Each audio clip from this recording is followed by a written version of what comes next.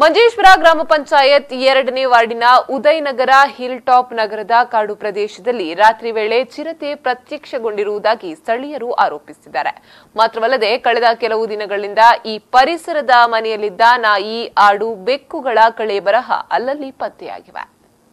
ಮೊದಲು ಕಾಡು ಹಂದಿ ಅಥವಾ ಕಾಡು ಬೆಕ್ಕುಗಳು ಆಕ್ರಮಣ ನಡೆಸಿರಬಹುದೆಂದು ಶಂಕಿಸಲಾಗ್ತಿತ್ತು. ಆದರೆ ಇದೀಗ ಕೆಲವೊಂದು ಮಂದಿ ಚಿರತೆಯನ್ನ ಕಣ್ಣಾರೆ ಕಂಡಿರುವುದಾಗಿ ಹೇಳುತ್ತಿರುವ ಹಿನ್ನೆಲೆಯಲ್ಲಿ ಸಂಜೆಯಾಗ್ತಿದ್ದಂತೆ ಮನೆ ಮಂದಿ ಹೊರಗಿಳಿಯಲು ಭಯ ಪಡುವಂತಹ ಪರಿಸ್ಥಿತಿ ನಿರ್ಮಾಣವಾಗಿದೆ.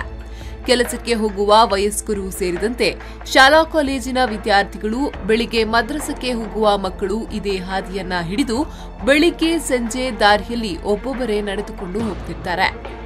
ತಮಿಳುನಾಡು ಇಲ್ಲಿ ಈ ಪ್ರದೇಶದಲ್ಲಿ ಚಿರತೆ ಬಂದ ಒಂದು ಕಾಣಿಕೆಯಾಗಿದೆ. ಅದು ಬಂದು ನಮ್ಮ ಬೆಕ್ಕು ಕೋಳಿಗಳನ್ನೆಲ್ಲ ಹಿಡಿದು ತಿಂದ ಒಂದು ಇದು ಎಲ್ಲ ಮನೆಗಳಲ್ಲಿ ವಿಶೇಷವಾಗಿದೆ. ಆದ ಕಾರಣ ಈ ಕಾಡು ಪ್ರದೇಶದಲ್ಲಿರುವ ಅದರ ಉದ್ಯೋಗಸ್ಥರು ಬಂದು ಇದನ್ನು ನೋಡಿ ಎಲ್ಲಿ ಏನಾದರೂ ಏನ ಏನಂತೂ ಅದನ್ನು ತಿಳಿಯಲಿಕ್ಕೆ ನೀವೆಲ್ಲವರು ಈ ಉದ್ಯೋಗಸ್ಥರು ಅದಕ್ಕೆ ಬೇಕಾಗಿ ನಮ್ಮನ್ನು ಸಹಕರಿಸಬೇಕಾಗಿ ಚಿರತೆ ಇದೆಯೇ ಇಲ್ಲವೇ ಎಂಬುದನ್ನ ಖಾತ್ರಿಪಡಿಸಲು ಅರಣ್ಯ ಇಲಾಖೆಯವರು ಬರಬೇಕಾಗಿದೆ. ಈ ತನಕ ಲಿಖಿತವಾಗಿ ಯಾರು ದೂರು ಕೊಡದೆ ಇರುವ ಹಿನ್ನೆಲೆಯಲ್ಲಿ ಯಾವುದೇ ಇಲಾಖೆಯ ಅಧಿಕಾರಿಗಳು ಕೂಡ ಈ ಬಗ್ಗೆ ತಲೆಕೆಡಿಸಿಕೊಂಡಿಲ್ಲ.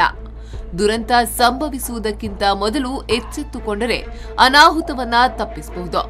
ಸಂಬಂಧಪಟ್ಟವರು ಇತ್ತ ಕಡೆ ಗಮನ ಹರಿಸಬೇಕೆಂಬುದು ನಮ್ಮ ಆಶಯ.